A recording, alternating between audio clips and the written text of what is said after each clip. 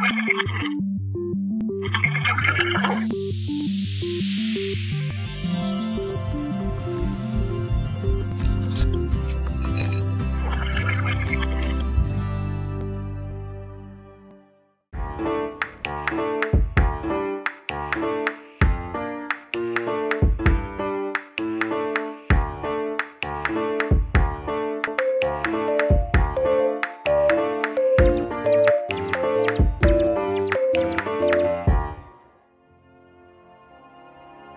name is Esteban Ucrós. I am from Colombia, from Bogota, Colombia.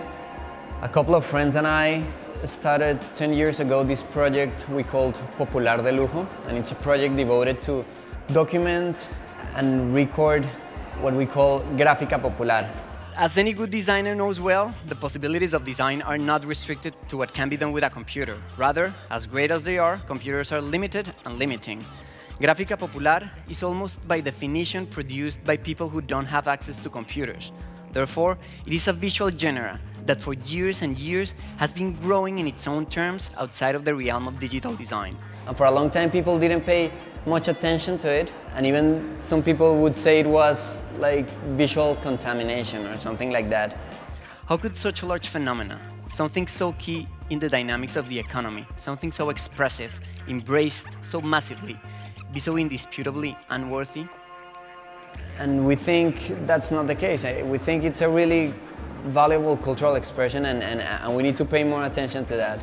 We had this like big exhibition in Guadalajara, Mexico, which was about showing Mexicans the relationships between Colombian and Mexican pop culture. We have tried to go beyond passive documentation, I mean not only taking pictures, but really get to know the people behind this visual culture I've read that no other sound systems equals the visual flamboyance of Colombians.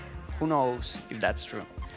What I can say is that in the context of a nation which capital city is located in the heights of the Andes, where dominant culture has been for a long time that of the Spaniards' descendants, these sound systems strike as a resounding statement of cultural autonomy by the coastal African descendant population. They really feel like a way of saying, we are, we are here, and by the way, we're pretty cool.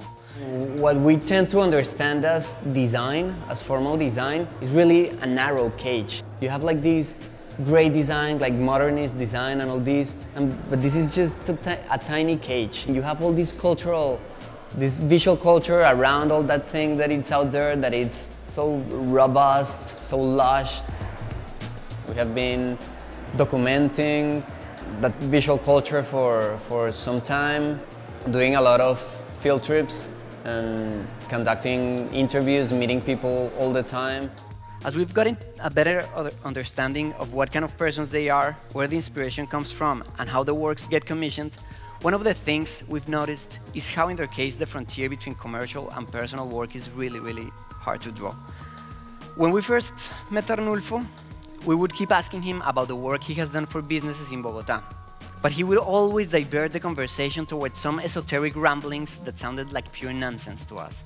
During his 60 years of age, he's been recurrently visited by spirits, both good and evil, that deliver messages and take him on trips. He calls all these revelations. So we told him to go ahead and paint his revelations and we would pay for them any price he set. A couple of weeks after, he showed up with stuff like this. One can only imagine how painful it would have been to live with all this inside of you for 60 years. And who knows how many spirits like these are trapped in poverty and humiliation.